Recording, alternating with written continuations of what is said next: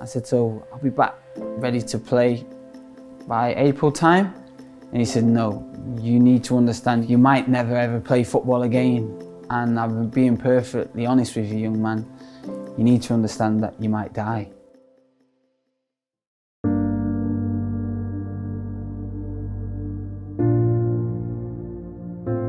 My childhood was not ideal at all. My dad was in and out of prison. It was just me and my brother looking out for each other. Whether it was my mum going into hospital, at first I was too young to even like understand what was going on. So I would always look to Joe to sort of give me guidance. Unfortunately for my mum, at the time when she wouldn't have known, but by the time I was eight, she got sectioned and put on a psychiatric unit. Like we'd always like work together so well. So I'd assume that most brothers are like that, but I think because of our hardship, we've actually become even more close and we're like two minds, like thinking as one. We made our way up to Rochdale and to like Greater Manchester to, to stay with my auntie to stop us from going into care.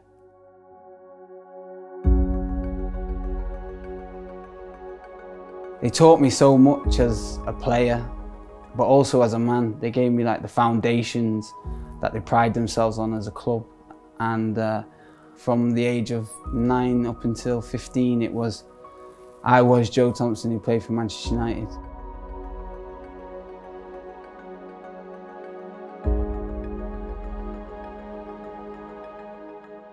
But then I found myself with nothing and my old teacher said, why don't you go down to Rochdale? It's a stone's throw away from your house. I know your mum doesn't drive and you can walk to training and I did that.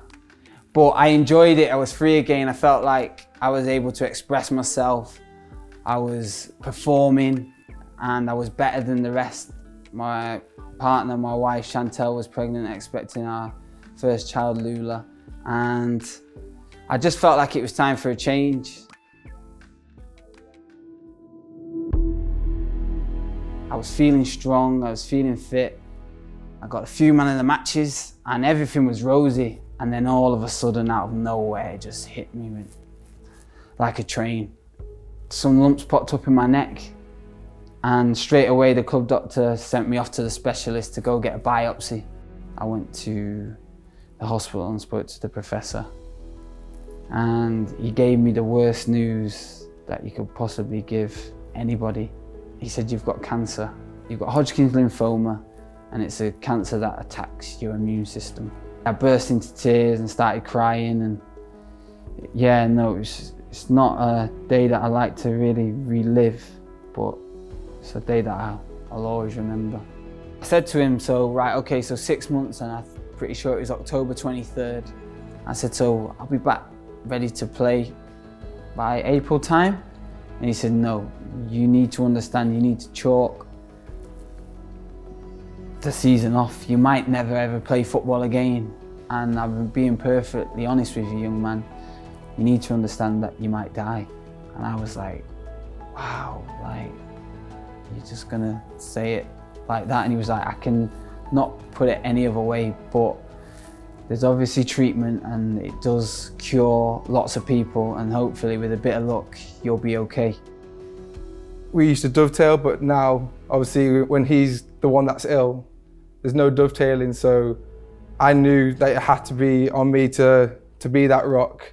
I just remember thinking every message that comes is just filling up the glass, a bit more positivity, keeping you strong and football fans from all over the world wrote to me and messaged me and I can never thank them enough for what they did for me. But yeah, I just remember thinking I've got an army behind me here and I'm ready to go to war.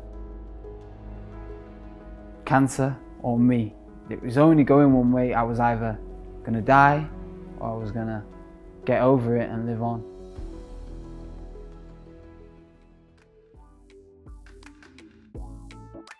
For me, physically, trying to get back into football, it was so, so tough. Back at Rochdale, I was playing with my mates and I was enjoying the banter in the changing rooms and it was just, yeah, I was on top of the world and I could also set my sights on achieving again instead of surviving.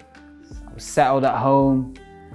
Lula was a bit older, she'd gone to school. Chantel was doing well with her businesses and things were all right with my brother. And my mum was, everything was cool. It just came out of nowhere. I had a routine scan that I needed to do, which was going on two and a half, three years, just to pop in at the Christie's and just double check that everything was all right. And then the professor just said, we've just noticed a change from your previous scan since you've been in remission. So we just want to do another one to just double check. And then on Christmas Eve, he told me the cancer had come back. I was angry. I was very angry. I, I thought I've done everything. I've got over the, it, the first time and I've worked so hard to get back to where I wanted to be and I was ready to kick on and try and progress in the game. I think you could you could see there was something up um, because he actually com confided in myself um, and he said that the doctors have said to him to play on as long as he can. And it, it come to like a, a loggerhead where I think we was playing away to MK Dons and um, we looked across at one of at, well at each other and I could see in his eyes that he was done as such where he couldn't carry on no more playing football. If I did everything right and I gave it my all, if the cancer beated me, I could look my family and my friends dead in the eye and say, I didn't give up, I just got beaten. So, whichever way it goes, just know that I've given it my all.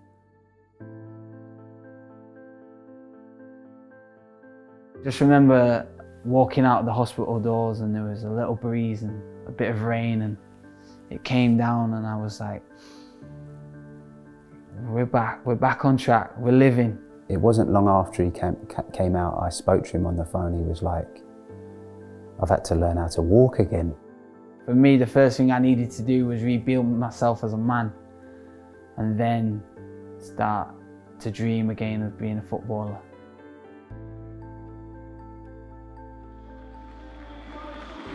I was just thinking, we need to get ourselves out of this relegation fight, this relegation battle.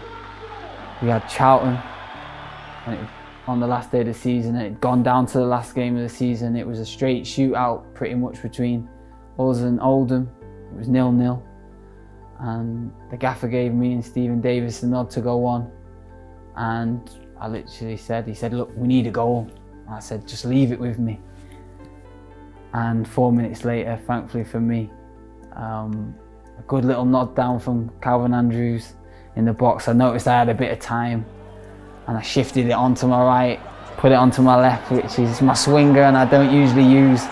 And I just remember thinking, this is it. And time just stood still. I put my foot through the ball and it hit the back of the net and it was just quiet. It was just, it was amazing. It was like I was soaring through the sky to a certain extent. And I could still see it all coming towards me. The stand looked like there was a sea of blue coming down and then it snapped back, it came. I noticed the noise and I think for everyone at Rochdale and everyone associated with Rochdale, I'm pretty sure they've not heard a noise like that at the Crown Oil Arena um, ever. It was like mass eruption of emotions, not just because of what the goal meant for the football club, but what it meant for JT, because that battle that he'd on, undergone for two, three years of his life was put to the put to the side just for that magical few moments. It was just special beyond imagination. Going back into the changing rooms after it, the boys were buzzing. And we'd done it, we'd survived, and I think the ultimate survivor to a certain extent had made sure that everyone had survived and we maintained our League One status. For me, the book wasn't, it's not about me, it's about you can do it if you put your mind to it, no matter the circumstances, and just keep believing. And even when times get tough, just look inside and dig deep and find out what motivates you and what's going to drag you out of the hole